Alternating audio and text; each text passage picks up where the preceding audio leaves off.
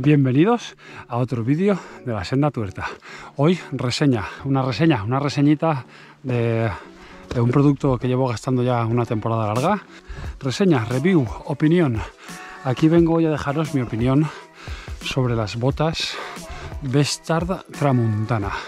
Bueno gente, estaba editando el vídeo y me he dado cuenta que me equivoqué diciéndose el nombre de las botas.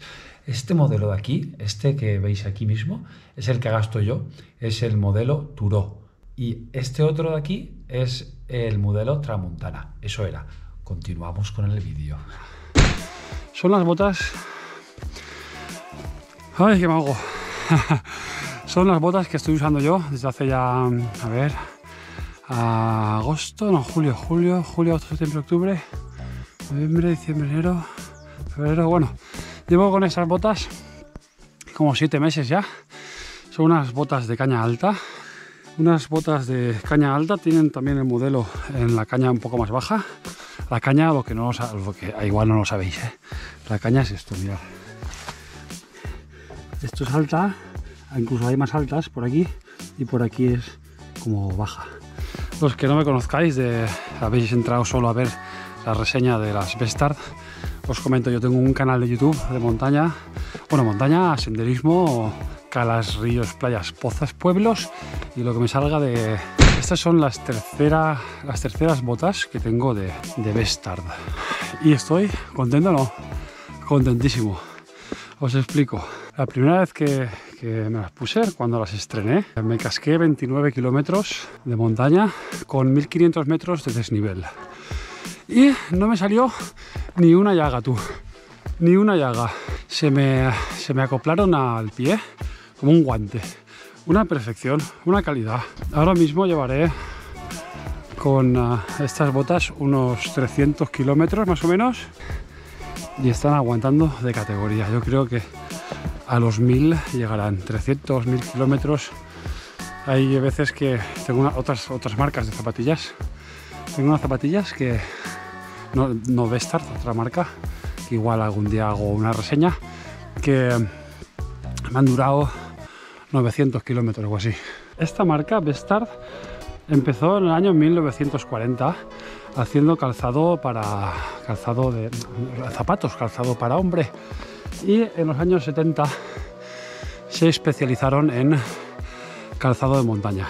Es una empresa de fama internacional porque sus productos son de una calidad superior. Le estoy haciendo la pelota, eh. Le estoy haciendo la pelota para ver si me patrocinan o algo, eh. Mira, puedo ponerme aquí. Bestard. bueno, el caso es que yo después de las primeras botas de caña alta, las primeras botas de caña alta que tuve fue a los 14 años, más o menos, y fueron unas Bestard. Me duraron la vida. Después me compré otro modelo de Bestard, también me duraron un montón. Después ya cambié de marcas, por eso que dice, bueno, voy a cambiar a ver. Pero a la tercera he vuelto a Bestard. Y creo que la cuarta posiblemente también lo sea. Mi experiencia con esta marca siempre ha sido buena, siempre. Ya os digo que en mi canal de YouTube hay un vídeo que se llama El Ibón de Montidiego y de Bardamina en Benasque, en el Parque Natural de Posest Maladeta. Me casqué muchos kilómetros, botas nuevecitas estrenadas del día anterior. Ya, ya, ni una llaga. Bueno, una. Ay, chiquitita, chiquitita. Pero es que ya cuando me las puse, dices, es que dices, cuando, cuando algo te calza, cuando algo te calza, dices, a la primera. Dices, pues estas, estas son, estas son. Así que muy contento con esta marca. Goretex. Y les, estoy metiendo, o sea, les estoy metiendo. Les estoy metiendo unos viajes y pedregales y rocas y leches también os digo, ¿eh? el modelo Tramuntana eh, es una bota semi-rígida con Gore-Tex. No es de estas rígidas, rígidas como una piedra. Es para trekking, aunque por pedregales también te, sirve, oye. Después tienen otros modelos más, más duros, que eso ya, pues ya lo veremos más adelante. Bueno, alguien en mi canal se preguntará, bueno, ¿estás haciendo una publicidad aquí a Bestart? Mm, sí, sí y no. A ver, os lo cuento porque si os gusta la montaña, yo quiero, o sea, quiero deciros las marcas que gasto yo y los resultados que me han dado. Ya hice una reseña de esta chaqueta, ahora estoy haciendo una reseña de la marca Bestard. A lo que venía, una empresa familiar fundada en el año 1940 en el pueblo de Lloseta, en Mallorca. Venden a más de 30 países, han estado en el Everest, en todas las cimas del mundo, eh,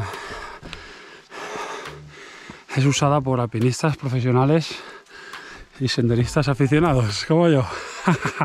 si alguien me pregunta, ¿qué bota me recomiendas? Hoy por hoy, sé que hay muchas marcas y hay muchas marcas comerciales muchas marcas muy comerciales y pues hay marcas que, que pasan desapercibidas, pero que son meleta, mielecita, mel de romera, miel de romero, ¿eh? Poco más que deciros tengo. Aquí me despido, espero os haya gustado mi reseña. Unas botas de categoría. Punto pelota.